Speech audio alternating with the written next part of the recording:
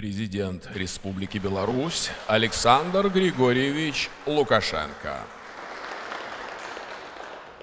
Дорогие друзья, у нас сегодня с вами встреча традиционная, всегда в преддверии Дня науки. Встречаемся для того, чтобы подвести итоги, отметить достижения белорусских ученых в области науки в целом, но не только. Нам надо заглянуть в завтрашний день. Без этого никак нельзя. И мне важно, очень важно знать, как вы видите свою роль, роль своих учеников, последователей, да и всего научного сообщества в реализации стратегии года качества. Насколько вы погружены в замысел года, который, по сути, должен стать началом нового этапа развития Беларуси? Есть цель превзойти себя, притом во всех сферах жизни. Конечно, в авангарде движения к этой цели стоите вы, люди науки.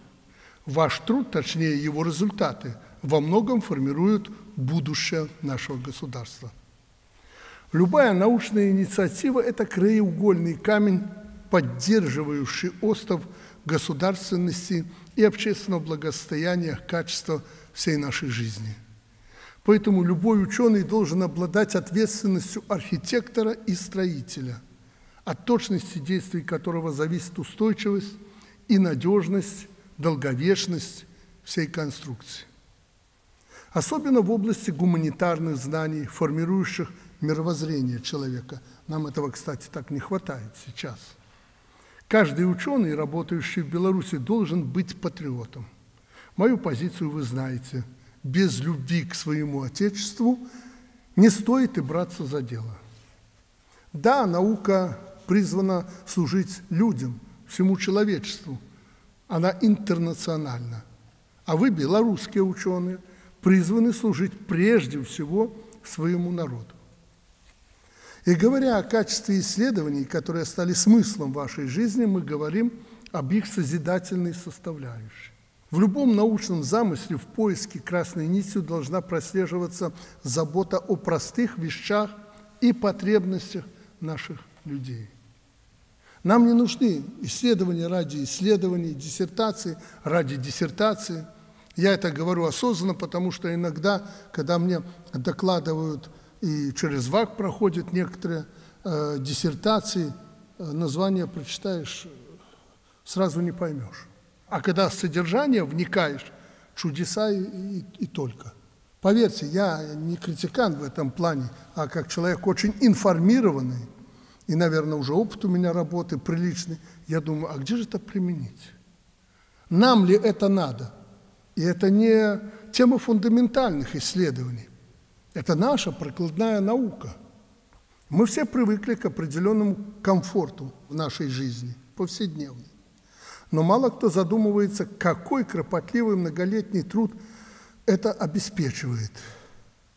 Знаете, в полном объеме все это только вы.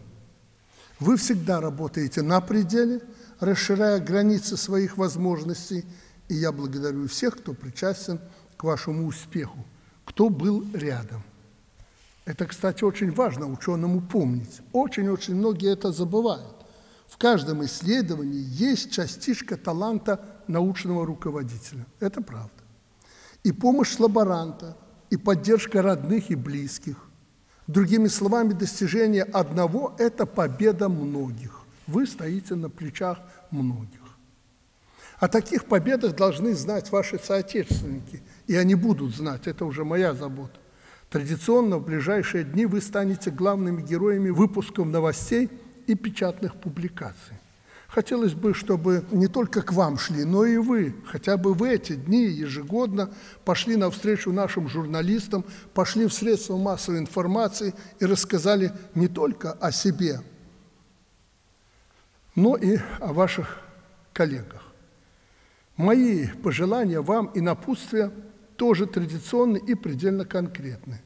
Научные достижения не должны остаться красивой витриной.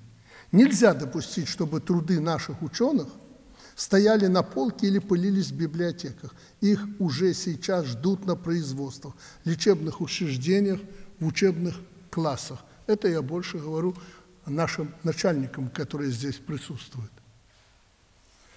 Именно прикладной характер научных исследований определяет надежность и процветание нашего общего дома.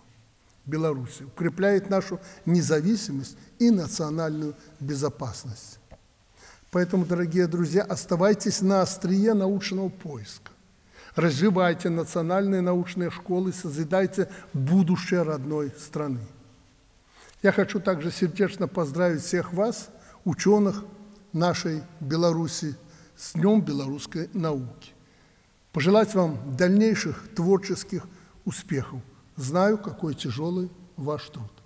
Пришлось в жизни как-то приблизиться к этому, не соприкоснуться, а приблизиться. Дальше дело не пошло, потому что я понял, что ученым быть, наверное, не для меня. Это было давным-давно, но с тех пор, соприкасаясь с учеными, я понял, что я поступил правильно. Тяжелейший труд, тяжелейший труд. И те, кто достигает вершин, заслуживают глубочайшего почета и уважения. Поэтому позвольте мне разделить с каждым из вас радость сегодняшнего момента и вручить вам дипломы и аттестаты. Опять же, традиционно. Еще раз поздравляю вас с этим особым мгновением и моментом в вашей жизни.